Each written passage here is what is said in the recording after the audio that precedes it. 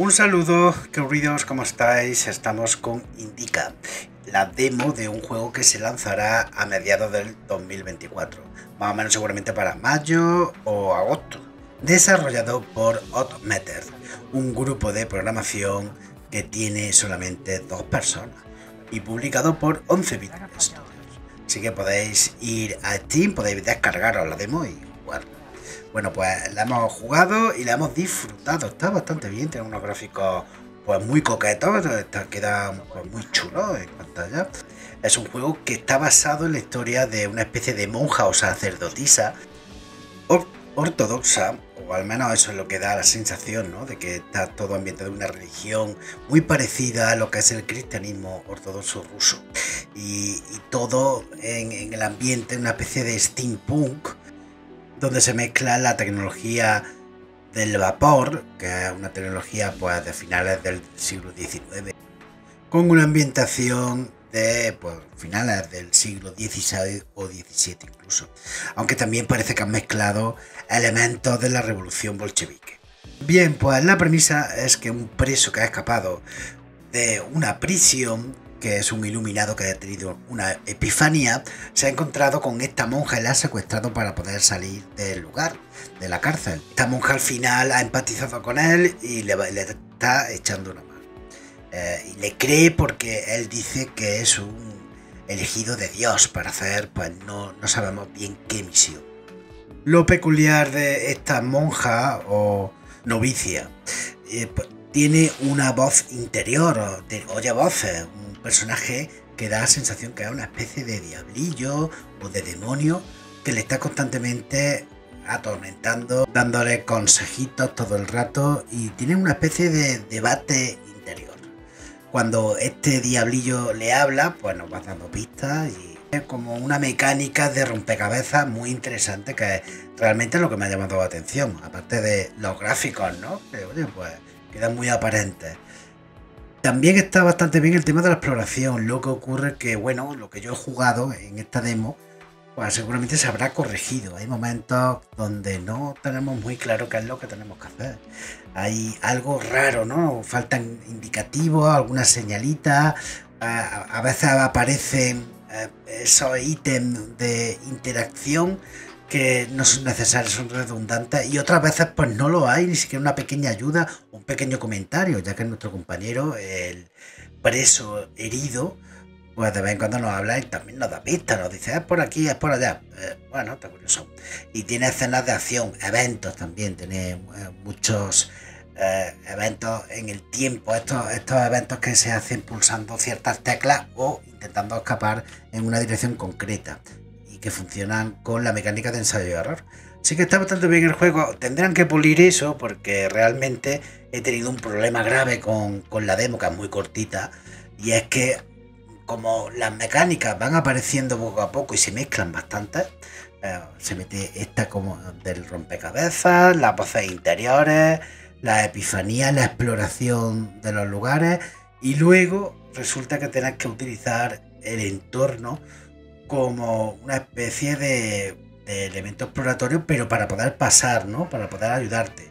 Y bueno, bueno, nos tendrían que haber indicado en los primeros momentos o en algún momento de que se debe de buscar también en los elementos del escenario para poder superar eh, ciertas barreras que de repente, pues bueno, pues no podemos saltarla o algo parecido y necesitamos hacer algo, ¿no? Como la parte esta del hielo, que yo tuve que mirar por ahí a ver cómo el che se pasaba porque no, no, yo no me di cuenta de que el hielo se levantaba lo suficiente como para que podamos subirnos a la tarima.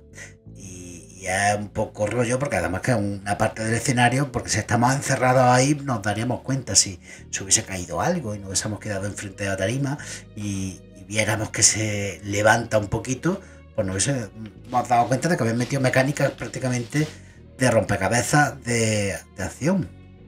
Pero bueno, eh, está bastante bien y esperamos con ansia que saquen el juego completo. A ver qué tal. Este título de suspense y cierto drama y comedia, porque hay un tema como por ejemplo la música del tráiler.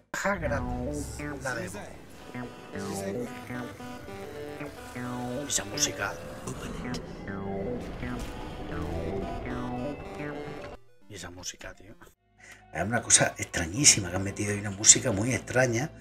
Y luego, pues, eh, ese diablillo burlón que le habla a nuestra novicia.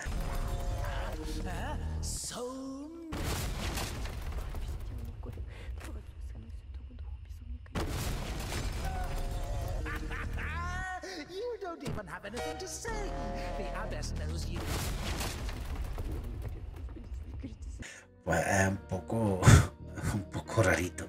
Entonces no sabemos si es que el juego es dramático o es cómico, no sabemos a dónde tiende. La cosa es que, desde luego, la ambientación es muy oscura. Es todo muy oscuro, muy, digamos, un poquito angustioso, ¿no? Porque todo es, es monocromático y te da la sensación de que es triste, ¿no? Hay tristeza por todos lados.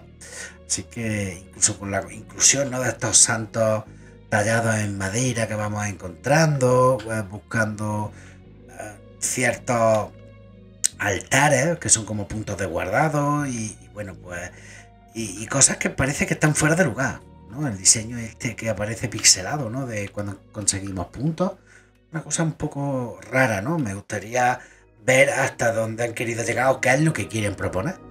Da la sensación de que no saben con qué están tratando.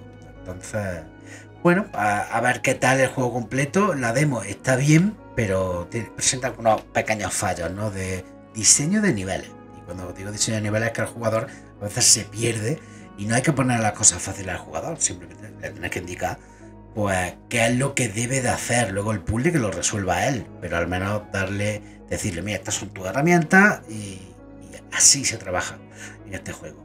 Y así debería más de ser todos los juegos, ¿no? Para eso están muchas veces los juegos con tutoriales ya parten de un error de diseño. Quiere decir que el juego no es lo suficientemente intuitivo y te tienen que explicar de forma detallada cómo se juega para que aprendas y disfrutes si no te lo enseñan es probable que lo dejes o que te frustres o que no consigas avanzar. Bueno, pues este, este, es el caso que no han conseguido hacer una especie de tutorial inicial lo suficientemente claro como para que nosotros podamos usar los elementos del escenario. Esperemos que eso lo corrija. Eh, así que os dejo por aquí el enlace de la partida completa que tengo por ahí. No, no es muy larga, y, bueno, pues yo creo que, es interesante, al menos la ambientación es bastante original. No suele haber muchos juegos ambientados con el tema religioso, aunque sea una religión muy extraña, un poco, poco rara, ¿no? Porque todo te suena, pero todo es extrañísimo.